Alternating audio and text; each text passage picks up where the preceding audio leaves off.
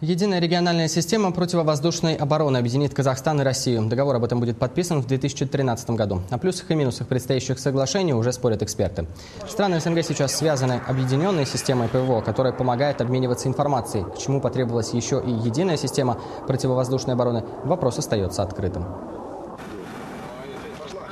В случае проникновения на территорию Казахстана окончательное решение кто будет принимать? Астана или Москва? Далее кнопку нажимать будут на поражение этих целей. Кто будет? Астана или Москва? Если же все решение будет принимать Москва, то это прямое нарушение суверенитета нашего Казахстана.